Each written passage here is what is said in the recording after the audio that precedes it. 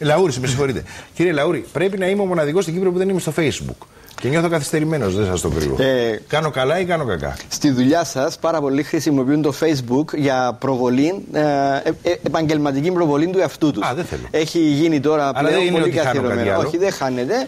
Ε, Κανένας δεν χάνει εάν δεν ε, μπει μέσα στην τεχνολογία.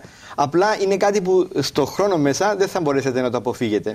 Δηλαδή σε- Θα μπω και στο Facebook. Θα μπείτε Αυτό και να στο δω, δηλαδή, Facebook και- ή σε κάποιον ανάλογο ε, προϊόν.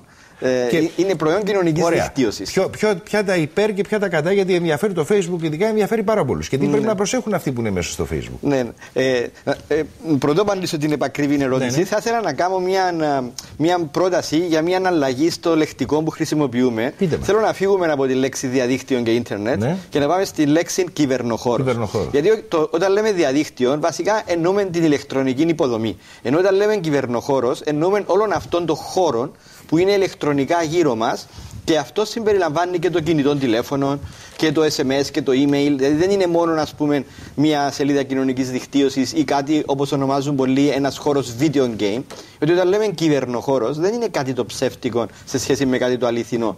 Είναι μια προέκταση του χώρου στον οποίο λειτουργούμε. Και αυτό έχει μεγάλη σημασία Πολύ σωστό. για να σας απαντήσω και την ερώτησή σας γιατί τι είναι που μας τραβά σαν μαγνήτης σε αυτά τα θέματα. Ε, Είναι γιατί επεκτείνεται ο χώρος στον οποίο λειτουργούμε. Δηλαδή το Facebook, τι σας δίνει το Facebook, Γιατί όλοι οι φοιτητές είναι στο Facebook; Γιατί οι φοιτητέ. Τώρα, άμα σας πω, Ε, να σας πω, να σας πω την άποψή μου. Ε, πολλοί θέλουν να είναι σε αυτούς τους χώρους κοινωνικής δικτύωσης γιατί εμείς είμαστε ένα ζώο κοινωνικό. Θέλουμε παρέα. Και μέσα σε αυτούς τους χώρους είσαι μαζί με άλλους. Μπορείς να μοιραστείς με, με άλλους τις φωτογραφίες σου, πληροφορίες για σένα, τι κάνεις εκείνη τη στιγμή. Είναι λες και ε, σμικραίνεις το χωροχρόνο. Ε, Η απόσταση δεν έχει σημασία. Είμαστε εμείς οι φοιτητές σε ένα πανεπιστήμιο, μετά εσύ πας σε μια χώρα, εγώ σε κάποια άλλη, αλλά είμαστε τόσο κοντά όσο να μπω στο Facebook και βλέπω τι έκαμες εχθές γιατί δεις- εσύ το βάζεις. μα τώρα δεν ξέρω. Τα- θε- Το τηλέφωνο τι έχει κάνει, δηλαδή ας πάρουμε το, το ανάλογο του τηλεφώνου. Για, γιατί δεν μπορούμε να το αποφύγουμε το κινητό τηλέφωνο; Μα είναι άλλο, είναι άλλο. Είναι Όχι, δεν επικοινωνία είναι. μεν. Είναι Αλλά δεν θα ακριβώς κάτσω το να ίδιο. στέλνω τώρα ας πούμε, σε όλους τους γνωστούς μου. Εγώ, ξέρετε, χθες ήμουν άρρωστος. Να σας πω, δεν ξέρετε, είναι χθες άλλο. εγώ έκανα με τους λες και ενδιαφέρει κανέναν τώρα και θα μπαίνουν όλοι. Αν, άντε και εμένα μου κόβει ο νους μου να το βάλω μέσα, πρέπει όλοι μέσα να βλέπουν αν χθες εγώ τι έκανα. Να σας πω, μας φαίνεται γελίο. Αλλά αν πάτε 10-15 χρόνια πριν που εμφανίστηκε το κινητό τηλέφωνο, μας φαίνεται και εκείνον παράλογο να μας τηλεφωνούν οποιαδήποτε στιγμή της μέρας και να μας παρενοχλούν. Και τώρα μας φαίνεται φυσιολογικό. Ούτε λίγο ούτε πολύ με είπατε κατά 15 χρόνια καθυστερημένο. Λοιπόν. είναι, είναι, είναι κάτι, είναι σημαντικό το Facebook και τα άλλα προγράμματα κοινωνικής δικτύωσης, διότι αυτά βάζουν στο κέντρο όχι την εφαρμογή, αλλά το ίδιο το άτομο. Δηλαδή, ο καθένας είναι το κέντρο. Η πληροφορία του ανήκει, είναι δική του, είναι το κέντρο της προσοχής. Και όλα τα παιδιά τους ενδιαφέρει αυτό το πράγμα, να είναι αυτή το κέντρο και όχι η εφαρμογή.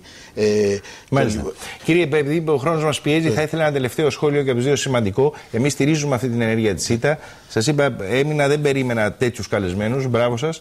Ε, ένα τελευταίο σχόλιο για να κλείσουμε. Εγώ θα ήθελα να μιλήσω για τους κινδύνους, επειδή είναι Ναι, το ναι, μεγάλο ναι. θέμα. Οι κίνδυνοι είναι επειδή ο χωροχρόνος έχει σμικριθεί. Δηλαδή, μέσα στο σπίτι μας υπάρχουν οθόνες. Οι οθόνες μπορούμε να τις παρατηρήσουμε σαν παράθυρα. Από, ένα, από αυτόν το παράθυρο, η κόρη ενός από τους τηλεθεατές μας μπορεί να πεταχτεί και να μπει μέσα σε έναν καπαρέ. Μπορεί να πεταχτεί και να μπει σε μια παρέα σκοτώσω, που δεν άμα θα είναι. θέλαμε. Και όμως αυτό το παράθυρο βρίσκεται μέσα στο σπίτι. Άρα θα πρέπει αυτό που είπε ο κ. Αλεξάνδρου, το παιδί να α, βοηθηθεί, να αναπτυχθεί και να έχει κριτική σκέψη και να φοβάται αυτούς τους κινδύνους, αλλά και οι γονείς να λάβουν μέτρα. Και τα μέτρα θα έλεγα είναι δύο σε πρώτη φάση. Πρώτη, φα- πρώτο μέτρο, αφού αυτό το παράθυρο διαφυγής βρίσκεται στο σπίτι, να μην είναι στο υπνοδωμάτιο.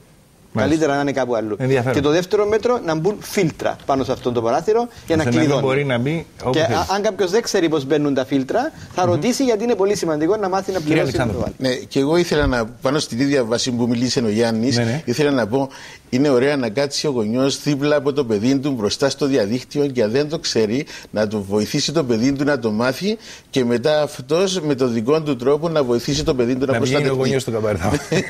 λοιπόν, κύριοι, σας ευχαριστώ πάρα πολύ που ήσασταν σήμερα μαζί μας. Ε, Κυρίες και κύριοι, ευχαριστώ και εσάς που και σήμερα επιλέξατε το πρωτοσέλιδο για την πρωινή σας ενημέρωση. Πολύ, πολύ καλημέρα σας.